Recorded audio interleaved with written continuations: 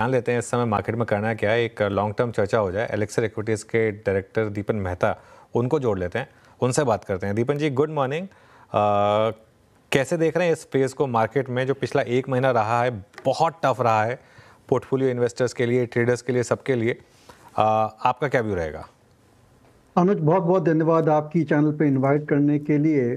मेरे ख्याल से I think we are headed for further correction in this market और शायद जो भी अप मूव आएँगे there be all opportunities to sell and slightly get into cash as well और कई महीनों से I have been keeping a very cautious view on the market और ये तो आई थिंक मेरे ख्याल से थोड़ी बहुत शुरुआत हुई है।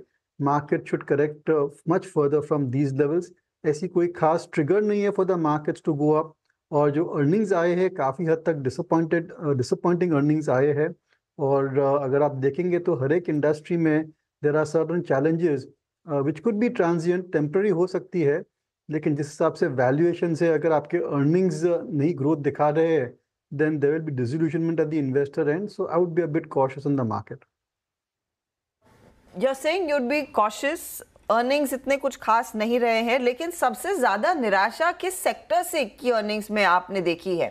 अवदीपन I think across the board देखिए large cap IT mid cap IT में I was very disappointed stagnating results दिखे वहाँ पर बैंक्स में जिस हिसाब से लोन uh, ग्रोथ कम हुई है और एनपीए की प्रोविजनिंग बढ़ गई है that is a challenge over there cement में if you see across the board profits are been lower Some companies reported losses as well. FMCG companies, especially MNC FMCG companies में बहुत ही slow growth देखा है, two three percent type of growth rates. Uh, so if you go industry by industry, you are realizing that there are many challenges. Building material also देखेंगे. There are so many industries I think where there could be transient issues, but जिस हिसाब से valuations है in company के, uh, and if they're going to report flat to lower earnings, then how can you justify buying them? Uh, but you know, I, I want to ask you a follow up on the technology part. I understand कि वहां पर निराशा हाथ जरूर लगी है लेकिन take में जो बड़ा ट्रिगर पॉइंट आता है, वो यूएस से आता है। अब यूएस में ऑफ़ कोर्स डोनाल्ड ट्रंप का आना। I don't know what the stance will be on H one B visa तो उसको अलग रखते हैं। लेकिन रेट्स अब दो कट्स आ चुके हैं, पचहत्तर बेसिस पॉइंट की टोटलिंग और वहाँ से होपफुली वो बी सेगमेंट बेहतर करने लगे। क्या वो एक ड्राइविंग फैक्टर नहीं रह सकता? फिर अगर ये रिसेंट करेक्शन के बाद आईटी आपको इन लेवल्स पर मिल रहा है कि आप खरीदारी करना शुरू करेंगे या नहीं? नो अर्चिता बिल्कुल नहीं। आई थिंक दैट जो भी यूएस में हो रहा है whether it actually comes down to higher growth rates for software companies ये देखना ज़रूरी है।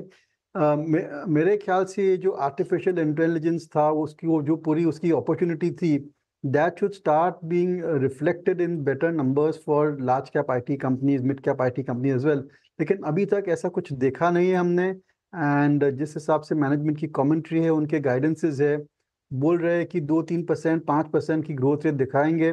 That really doesn't impress us at all क्योंकि अगर आप निवेश करना चाहते हैं तो you want to be in companies which have the potential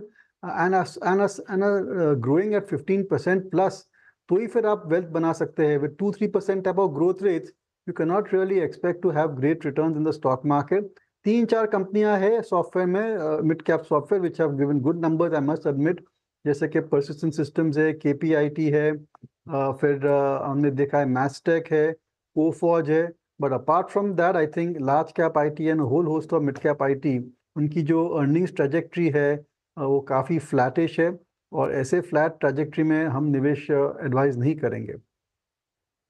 okay trend के कल नंबर्स आए काफ़ी स्टॉक गिरा, आज फिर तीन चार परसेंट नीचे।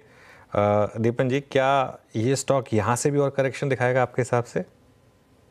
देखिए, अनुज एट 150 और 170 times trailing 12 month price to earnings multiple आप क्या बोलेंगे इसके बारे में? I no doubt fantastic growth rates है and actually I was not that disappoint with the numbers क्योंकि एंड ऑफ़ द डे ये ब्रिक एंड मोटर कंपनी है, और they are always facing challenges in execution और कई सारे factors है specially consumer sentiment जो उनके हाथ में नहीं है। फिर भी अच्छे नतीजे अच्छी ग्रोथ के कारण से markets have bid it up to sky high valuations तो आई थिंक uh, इस लेवल पर तो थोड़ा रुक ही जाना चाहिए। Uh, अगर आप इन्वेस्टेड है तो बहुत बढ़िया है। I would remain invested in Trent we have a small holding as a major of disclosure लेकिन फ्रेश इन्वेस्टमेंट इस लेवल पर आप नहीं कर सकते। ऑन द बेसिस की ये स्टॉक का करेक्शन आया है दस पंद्रह टके प्रतिशत का करेक्शन आया है। इस बेसिस पे आप निवेश नहीं कर सकते। जब तक इसकी प्राइस टोनिक मल्टीपल थोड़ी मैंने थोड़ी लेवल पर नहीं आती है I think it's just better to wait and watch Deepan considering आप जोमैटो uh, को काफ़ी क्लोजली ट्रैक करते आए हैं what are your thoughts on the Swiggy IPO आज आखिरी दिन है अब तक सब्सक्रिप्शन थोड़ा सा ठंडा ही था एंड आई थिंक वो फियर ह्यूंडाई की लिस्टिंग के बाद से आया कि पैसे अच्छे आईपीओ पर भी नहीं बने। Uh, क्या लोगों को आवेदन देना चाहिए? नहीं देखिए as a disclosure we are not applying for Swiggy's IPO क्योंकि हमारे पास जोमेटो के शेयर ऑलरेडी है and we are that has done very well for us लेकिन ऐसे माहौल में जहाँ पर हमेशा investors fund managers foreign portfolio investors they are all the time talking about high valuation high valuation और ये जो करेक्शन हमने देखी है that is entirely on the basis of high valuation ये एक लाख करोड़ का जो सेल्स दिखा है हमने एफ़ का that is on high valuation India की जो valuation it is significantly higher than rest of the market तो ऐसे सिचुएशन में, ऐसे एनवायरमेंट में I don't think you should be looking at Swiggy और any the new generation companies जहाँ पर अभी प्रॉफिटेबिलिटी दिख नहीं रही है, और जब भी आएगी, फिर भी उसके बाद भी इसकी वैल्यूएशन बहुत ही एक्सपेंसिव रहेगी। So Swiggy to an extent Zomato and new generation you know companies are great stocks to trade and invest when the markets are in a bull run पर मेरे ख्याल से I think in corrective phases like this they may correct even further and it's better to just stay away from them तो इस समय आप कहाँ पर इन्वेस्ट कर रहे हैं, दीपन? अगर फ्रेश पैसा डालना हो तो कहाँ पर डालेंगे इस समय?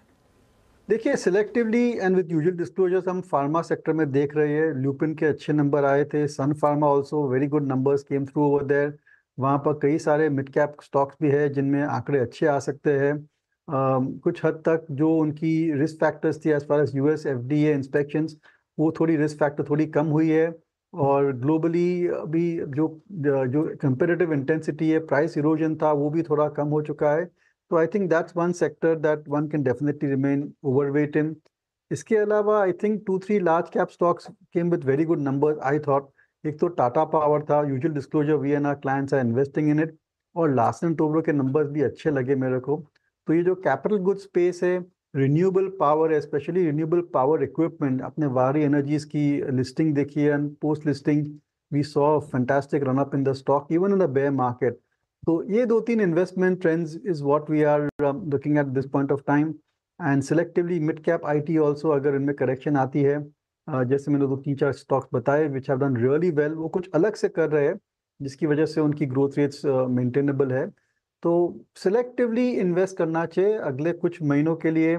ऐसा नहीं है कि सभी स्टॉक्स बढ़ेंगे and definitely your research skill and stock picking skills will be tested वो तो and your patience is well वो तो हर रोज टेस्ट हो रहा है और हर घंटे टेस्ट हो रहा है। वेरी क्विक टेक दीपन, अगर आप दे सके पीएसयू बैंकों पर। आज एसबीआई के नंबर से पहले स्टॉक थोड़ा सा नर्वस है, लेकिन अब तक जो भी सरकारी बैंक के नतीजे और लार्जली बैंकों का परफॉर्मेंस इस क्वार्टर में बेहतर रहा है। पीएसयू बैंक पर आपकी राय क्या रहेगी? स्टेट बैंक जैसे स्टॉक्स स्टेट बैंक से भी ज़्यादा I think within the entire banking NBFC space अगर आप कुछ अपॉर्चुनिटी ढूंढना चाहते हैं that is there in the tier two PSU banks right from Bank of Maharashtra Punjab and Sind Bank Central Bank of India IOB I think ये जो चार पाँच कंपनियाँ हैं the tier two banks I think they have delivered exceptionally good numbers अभी भी उनकी provisioning levels कम है। और जो उनकी ग्रोथ रेट्स है now they are matching the growth rates of the public of the private sector banks और उनकी जो प्रोविजनिंग uh, है एनपीएस है there also come down to extremely low levels और वैल्यूएशन अभी भी valuation gap between the tier two banks and the tier one PSU banks and the tier two banks and the private sector banks is still very very large तो मेरे ख्याल से there is a scope for P multiple और price to book multiple rerating for all of these four five tier two private sector banks sorry tier two public sector banks वहाँ पर एक opportunity दिख रही है on a trading basis as well as investment basis with one और two year horizon okay चलिए, अब यहाँ पर इस चर्चा को समाप्त करेंगे। आज हमारे साथ जुड़ने के लिए बहुत बहुत शुक्रिया।